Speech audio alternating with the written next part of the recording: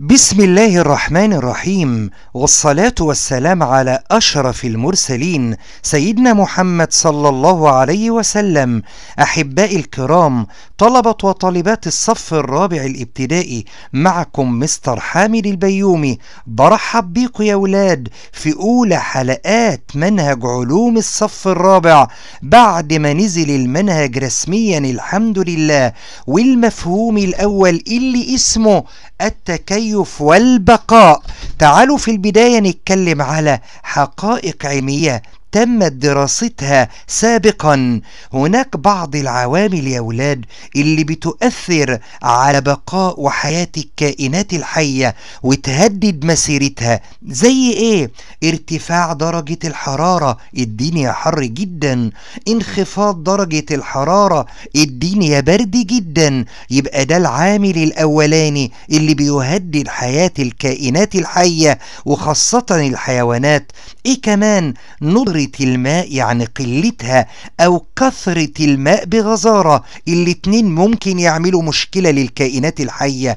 النقطة الثالثة قلة الأكل وتوافره أو المأوى المسكن أو كلاهما. يبقى عندنا ثلاث عوامل بيؤثروا على بقاء وحياة الكائنات الحية. يلا نقولهم مع بعض.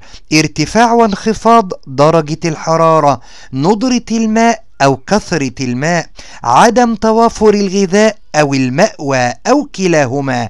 لذلك كان من الضروري أن تتكيف الكائنات الحية للبقاء واستمرار. يعني إيه تتكيف؟ يعني ربنا سبحانه وتعالى يميزها بعناصر وصفات وخصائص علشان تقدر تتعايش مع البيئة. تعال ناخد بعض الخصائص اللي ساعدت الكائنات الحية على التكيف والتعايش بمرور الزمن. عندنا ثلاث أمثلة. ثعلب الصحراء وادي صورته أهو. ماله؟ أذنان طويلتان. يجي سؤال علل. ليه الأذنان طويلتان في ثعلب الصحراء للتخلص من الحرارة الزائدة لأنه بيعيش في الصحراء وحرارة الشمس الشديدة. طب المثال التاني الجمل. جلده بيغطى بوبر الوبر كثيف. الوبر كثيف لحمايته من الحر وكمان من البرودة الشديدة. طب النباتات بتاعة الصحراء زي النخيل مالها بها أشواك لعدم فقد الماء الزائد علشان تحافظ على مية النبات في حر الصحراء الشديدة. دول ثلاث أمثلة. تعالوا نروح لمين؟ لدراسة الخفافيش وعنوان جديد باسم التواصل بين الخفافيش. الخفافيش؟ نعتقد إنها كائنات مخيفة ولكن في الحقيقة هي كائنات ليست مخيفة ولكن كائنات مهمة جدا. يجي واحد يقول مهمة لمين يا مستر حامد؟ أقول له الخفافيش مهمة للكائنات الأخرى ومهمة للإنسان ولها دور فعال في النظام البيئي. طب اديني صفات الخفافيش الخفافيش لما بتنام بتنام في وضع مقلوب وبيكون راسها لأسفل زي الصورة التي أمامنا. طب الخفافيش بتقدر تطير؟ أيوة. عندها أجنحة؟ لا. عندها تركيب في جسمها يشبه الأجنحة. اسمه تركيب جسدي. يسمح لها بالطيران مثل الطيور. طب الخفافيش لما بتتغذى بتتغذى على إيه؟ على الحشرات وعلى البعوض اللي هو الناموس. طب يا ترى الخفافيش معروف جدا إنها بتحب الليل ونشاطها بيزيد في الليل؟ علشان كده يقولوا عليها حيوانات ليلية يزداد نشاطها ليلا برغم سبحانك يا رب عدم الرؤية الجيدة ليلا. أمال بتقدر تشوف وتحدد إزاي؟ بتعتمد يا ولاد على خاصية معروفة جدا اسمها تحديد الموقع عن طريق صدى صدى الصوت. طب إزاي؟ عايزين نشرحها ونفسرها ونفصلها. عامل لك عنوان كيفية تحديد الموقع عن طريق الصدى. فين الخفاش؟ أدي صورة الخفاش أهو. بيعمل إيه؟ بيرسل موجات صوتية من عنده. تقوم الموجات الصوتية اللي بيطلقها أثناء الطيران تصطدم. يا إما بالسطح اللي قصاده يا إما بالفريسة اللي عايزها تصطدم بالفريسة أو بأي سطح مقابل. يقوم الموجات الصوتية لما تصطدم يحصل لها ارتداد زي القرى لما تصد في الحيطة وترد تاني. فيتقوم رجعاله موجات صوتية مرتدة إلى الخفاش نفسه. يقوم الخفاش يعمل إيه؟ يستقبل الموجات الصوتية المرتدة مرة أخرى. وبالتالي يقدر يحدد مكان الفريسة. يقدر يحدد مكان الفريسة يا ولاد. تعال نتكلم على التغذية في الخفافيش. بتتغذى على إيه؟ على الحشرات. طب عايز أمثلة للحشرات اللي بتتغذى عليها؟ البعوض والنحل والخنافس والدبابير جمع دبور والذباب والصراصير. طب يا ترى يا مستر حامد الخفافيش دي مهمة؟ مهمة جدا. ليه أول ميزة بتعتبر وسيلة لمكافحة الحشرات؟ طب نمرة اتنين الخفاش يقدر يقوم بالدور اللي بيقوم بيه النحل. إزاي؟ يساعد النباتات والأزهار لأن له دور فعال زي النحل وزي الفراشات. بيعمل إيه يا مستر؟ ينقل حبوب اللقاح من زهرة لزهرة وبالتالي يساعد على الانبات وعلى الأزهار وعلى التكاثر. تعالوا بقى ناخد نشاط واحد التكيف والبقاء. هندرس إيه في النشاط ده يا ولاد؟ قدرة الحيوان على التكيف في البيئة. طب مين المثال اللي هندرسه؟ صورة قدامنا أهي. لمين؟ لسحلية. جمعها سحالي. الصحراء. لأنها بتعيش في الصحراء. يبقى الصورة اللي قدامنا نموذج لسحالي الصحراء. سحالي الصحراء دي سبحانك يا ربي بتقدر إنها تحافظ على برودة جسمها. برودة وهي في الصحراء أيوه تقي نفسها من حر الصحراء. ليه بتعمل إيه؟ بتلجأ إلى الجحور الرطبة وتلجأ إلى أماكن الظل. طب يا ترى الصحراء عندها مشكلات؟ ده عندها مشكلات قاسية زي مين؟ أول مشكلة في الصحراء يا ولاد الحرارة الشديدة وكمان الجفاف لندرة الماء والتالتة ندرة وقلة الماء. ندرة وقلة الماء. تعالوا نروح للشريحة اللي بعدها.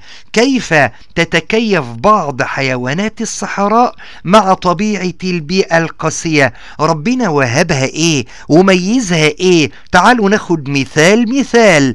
الكلاب والثعالب بتقوم بطريقة اسمها اللهث. يعني إيه اللهث؟ تطلع لسانها زي ما بنشوف في الكلاب ويقعد كده يلهث ويطلع صوت نهجان. طب ده قصد آه قاصد. علشان يحافظ على برودة الجسم. يبقى دي ميزة ربانية للكلاب والثعالب.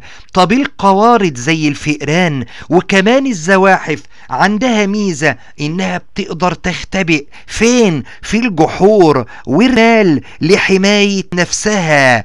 طب الجمل بيعمل إيه؟ بيخزن الفائض من الغذاء على هيئة دهون في الجزء اللي اسمه سنام البارز العلوي في ظهره ويقدر يستفيد بيها عند نقص الغذاء.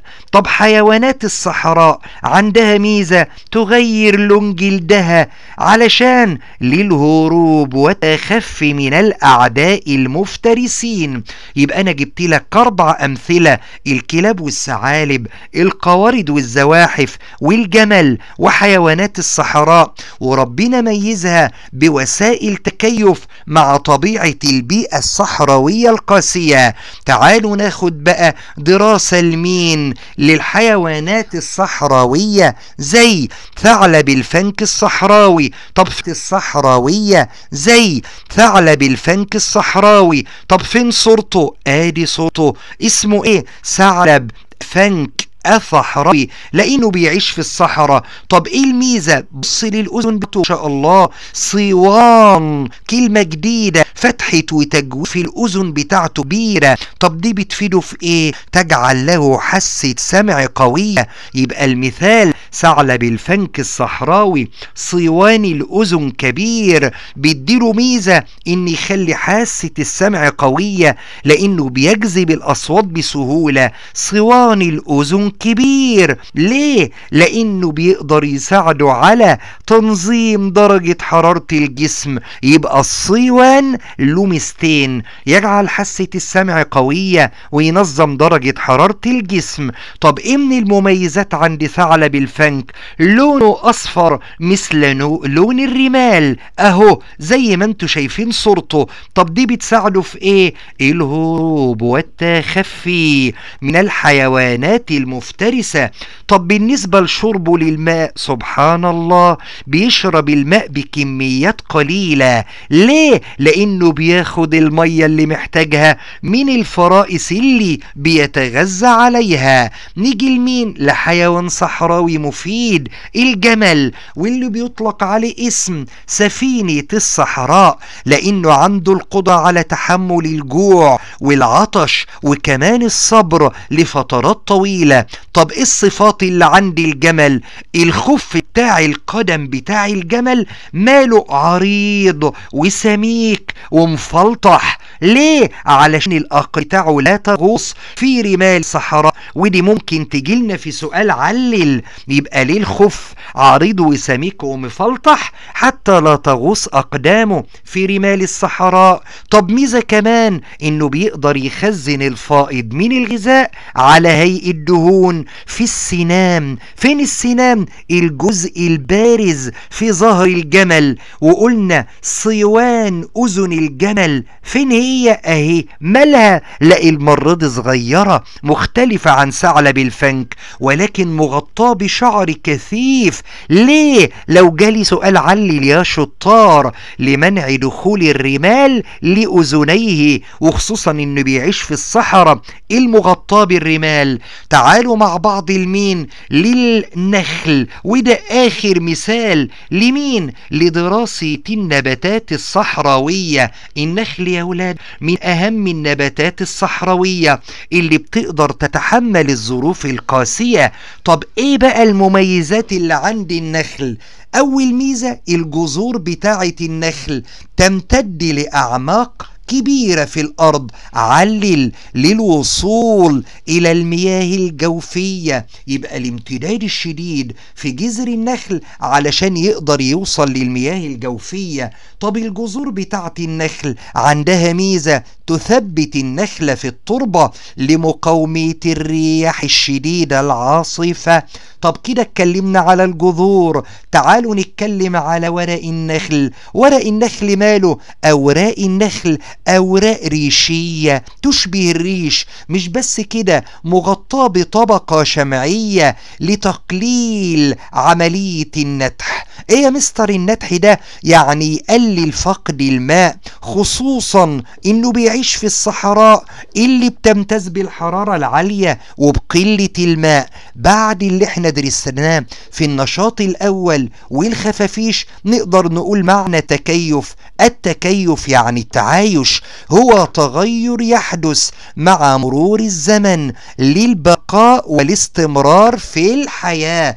آدي أول درس وملخص أول درس مع مستر حامد البيومي وهبعت لك الشرايح والصور بخط الإيد علشان تقدر تذاكرها. دي بدايتنا. لو تحب تشجعنا شجعنا ب like و share و subscribe لقناة روائع البيومي وانتظروا عليها بإذن الله تعالى. منهج علوم الصف الرابع الجديد المطور كل عام وأنتم طيبين وبخير تحياتي لعام وأنتم طيبين وبخير تحياتي مستر حامد البيومي